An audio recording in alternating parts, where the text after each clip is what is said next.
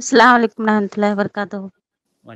शेख मेरा सवाल यह है कि अस्सलातु खैरुम मिनन नौम के जवाब में क्या कहना चाहिए? कोई कहता है अस्सलातु खैरुम मिनन नौम कहना चाहिए, कोई कहता है सदक सदकता व बररता कहना चाहिए।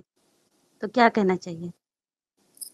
बहन ने सवाल किया हया अलसला और हया अलफला के जवाब में क्या कहेंगे सही मुस्लिम की रिवायत है यहाँ पे असल में हया अलसला और हया अलफला के सिलसिले में इस्तिस्ना वारिद है अजान के दीगर कलिमात से सही मुस्लिम की रिवायत है कि हया अलसला और हया अलफला के जवाब में जवाब देने वाला ला हौल वला कुव्वत इल्ला बिल्लाह कहेगा।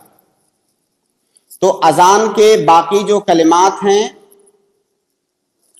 उनमें तो सेम कहेगा जो कलिमात मोजिन अदा कर रहा है वही कहेगा फ़कत हया अलसला और हया अलफला के जवाब में ला हौल वला कुव्वता इल्ला बिल्ला कहेगा। बहन का सवाल आ, जो है बहन का सवाल फजर की अजान के सिलसिले में था कि असला तो खैर मिन्नौम के जवाब में क्या कहेंगे? तो वो जवाब तो बिल्कुल सही है कि असला तो खैर मिन्नौम के जवाब में वही कहेंगे जो मुअज्जिन कह रहा है।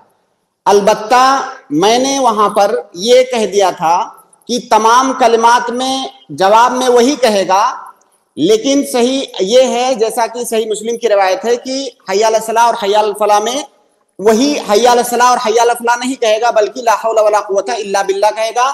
बाकी तमाम कलिमात के जवाब में वो सेम कहेगा जैसा कि मोजिन कहता है।